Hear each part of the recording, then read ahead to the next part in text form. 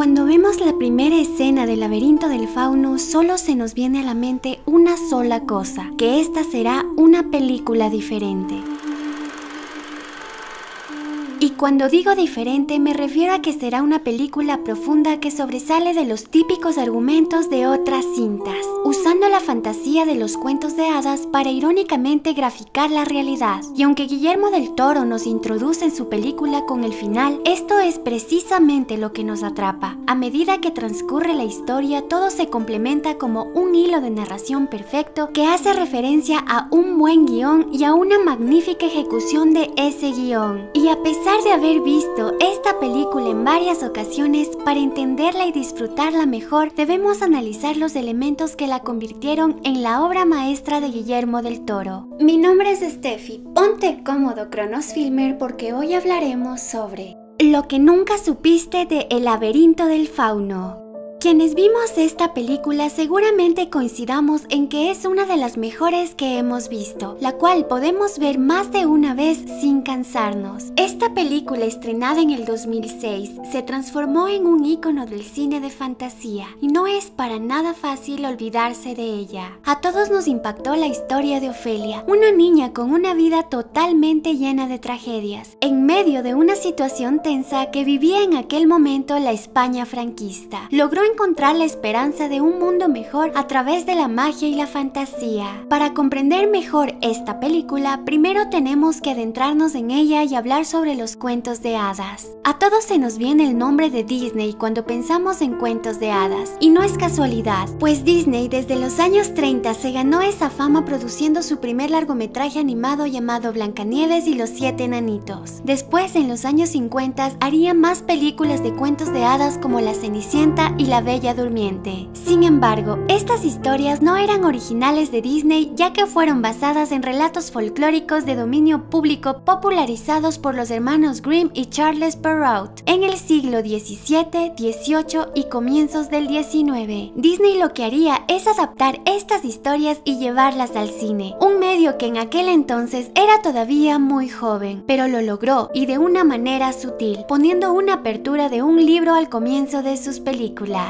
Estas historias forjarían la moralidad del siglo XIX y XX, con la premisa central de que la princesa siempre será salvada por su príncipe azul y vivirían felices para siempre. Pero con el pasar de los años los cuentos de hadas quedaron obsoletos y su sistema anticuado, por lo que películas como Shrek cambiaron el sentido de estos cuentos parodiando y narrándolos de una manera distinta, poniendo a un antihéroe como el ogro llamado Shrek como protagonista de la historia, igual manera, Disney en los últimos años ha tratado de darle otro enfoque a los cuentos de hadas, contando su historia desde otra perspectiva como la de los villanos. Pero lo que hace Guillermo del Toro en el laberinto del fauno es algo muy distinto. Él toma varios elementos para construir su propio cuento, donde la fantasía y la realidad se unen complementándose una de la otra. Del Toro rompe muchas reglas del cuento clásico de Disney y hace totalmente lo contrario. Nos plantea una realidad mucho más triste y cruel donde hay una guerra, injusticia y tiranía. Esto da una motivación y un punto de giro para que el personaje principal, Ofelia, a pesar de su entorno, sueñe con un mundo donde no hay dolor ni llanto, ni enfermedad, ni guerras, ni ningún tipo de sufrimiento.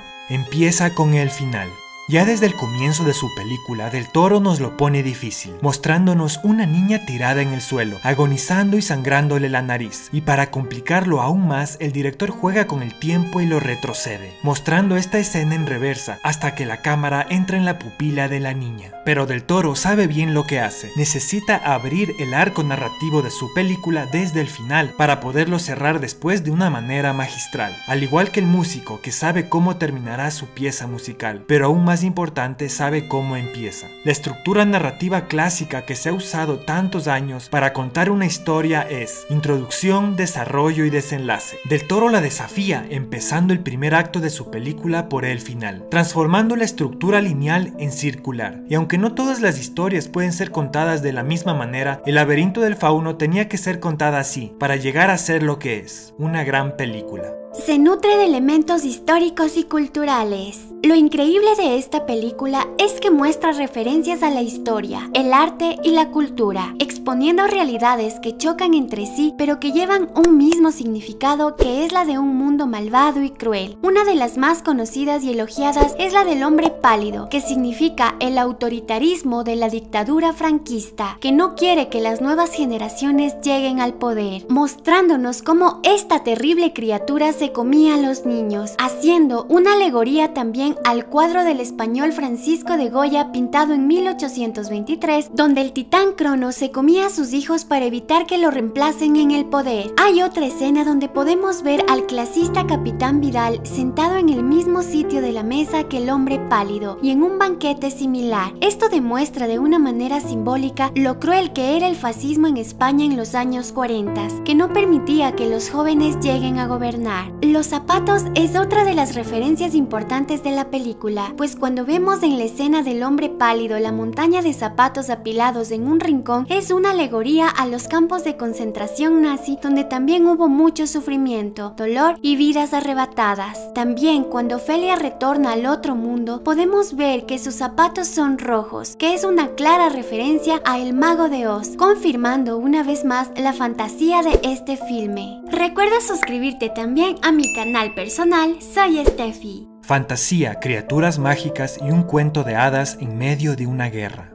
Para colmo, Del Toro se atreve a poner un cuento de fantasía en medio de una cruel guerra fascista, pues aunque suene irónico, el director utiliza la fantasía de los cuentos de hadas para contar una cruda realidad histórica como lo fue la Guerra Civil Española, pues la película toma significado por sí misma contando la historia de la pequeña Ofelia y su madre Carmen, cuando se van a vivir con el cruel capitán Vidal cinco años después de la Guerra Civil Española. El padre biológico de Ofelia fue un sastre que se perdió al empezar la guerra la nueva figura paterna de Ofelia será el despiadado Capitán Vidal, quien solo tiene un objetivo, erradicar todo grupo de rebelión o resistencia que haya quedado de la guerra, y aguardar hasta que nazca su preciado hijo. Vidal es un militar fascista muy conservador quien tiene una extraña obsesión con el tiempo, pues el tiempo o Cronos es algo muy importante para Del Toro, tanto así que su ópera prima se tituló Cronos, y en el laberinto del fauno no es la excepción. La importancia del tiempo se refleja a través del personaje personaje de Vidal, quien lleva a todos lados el reloj de su padre quien murió en batalla, y al temer que se descomponga y no pueda darle la hora exacta, vive dándole un constante mantenimiento. Mientras todo esto sucede, Ofelia se encuentra viviendo una aventura mágica que empezó al encontrarse con un hada en medio del bosque, y después continuó encontrándose con un fauno dentro de un viejo laberinto, quien le explicaría que ella es una princesa de otro mundo. En este punto la historia se desglosa en dos subtramas paralelas, por un lado el drama político y por el otro la aventura mágica de Ofelia, que según el fauno deberá superar varias pruebas antes de convertirse en princesa, por lo que al llegar a la última prueba el final será algo totalmente inesperado, llevándonos hasta las lágrimas. Todas las criaturas mágicas que aparecen son esenciales para la historia de la película y son de vital importancia para ambientar la trama, pues Del Toro no solo usa el espacio temporal que son los años 40 para darle ese toque inmortal y místico a su filme, sino también usa criaturas fantásticas fantásticas que nos asombran por lo bien estructuradas que están, pues desde las hadas que guían a Ofelia, el fauno cascarrabias, el sapo que contamina el gran árbol, la mandrágora, la planta que soñaba con ser humana y el hombre pálido que representa la maldad y el autoritarismo, son piezas de un gran rompecabezas que calzan a la perfección, elevando la historia a otro nivel, dándole un toque de inmortalidad.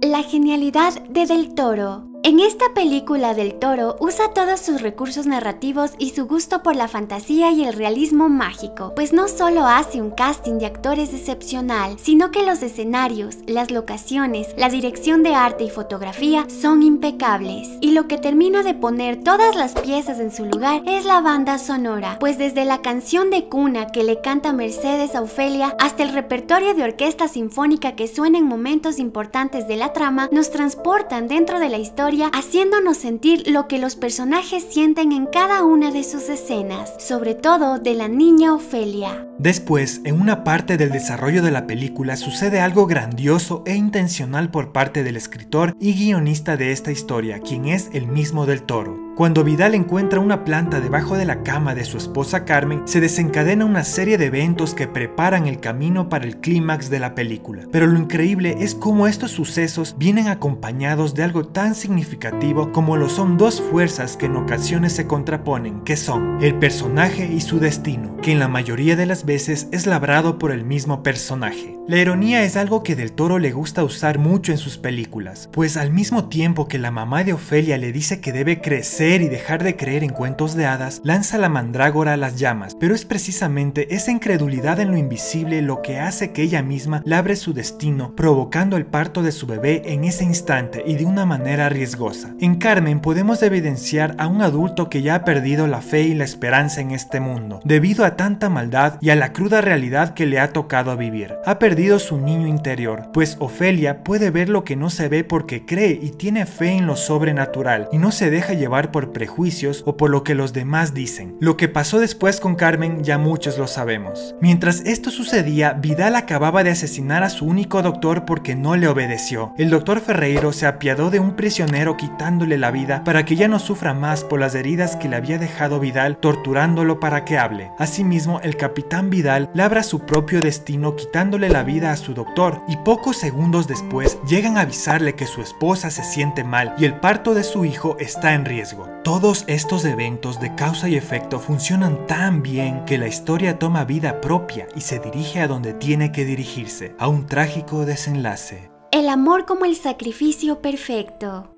A pesar de haber sido víctima de una historia la cual no eligió, Ofelia será capaz de sacrificarse por su hermanito sin importar que le cueste su propia vida, y la gran recompensa que le ofrecía el fauno que era vivir eternamente como una princesa dentro de un mundo fantástico. Sin saberlo, Ofelia, al tomar su decisión, activa algo muy poderoso que se llama amor. Ese amor que da sin esperar algo a cambio. Ese mismo amor que sintió la mamá de Harry Potter al sacrificarse por él, dejándolo inmune ante los ataques de Voldemort. Ese amor por el que Mufasa arriesgó su propia vida por su hijo Simba. Ese mismo amor que movió al señor Frederickson a hacer un viaje a las cataratas del paraíso para cumplir el sueño de su amada. Y así hay una lista interminable de películas que contienen hazañas que se hicieron por un sacrificio de amor. El sacrificio es claramente una alegoría cristiana, ya que el personaje se sacrifica para salvar a alguien más. Pero esta historia ya se había contado miles de años atrás y está en la Biblia, donde se narra que el mayor sacrificio que se hizo alguna vez fue el de Jesús por la humanidad. Pues aunque Hollywood utilizó este concepto como un eje central en las historias de algunas de sus películas, lo cierto es que fue extraído de las Sagradas Escrituras. En este caso, Ofelia, para entrar al plano sobrenatural, tiene que sacrificarse, siendo este sacrificio tan puro que lleva la historia del filme más allá de lo Lamentablemente la realidad muchas veces supera a la ficción y Ofelia es asesinada. A pesar de la fantasía, lo mágica y poética que puede ser esta historia, Del Toro nos muestra la muerte del personaje principal y aunque suena a un final triste, es el final que la pequeña Ofelia decidió contar, siendo esta la única forma en que completaría su misión en el mundo terrenal permitiéndole retornar como princesa al reino subterráneo, donde gobernó con justicia y bondad al de su padre. El narrador de este cuento termina diciendo que la princesa Ofelia dejó un legado en su paso por el mundo, con pequeñas huellas visibles solo para aquel que sepa dónde mirar.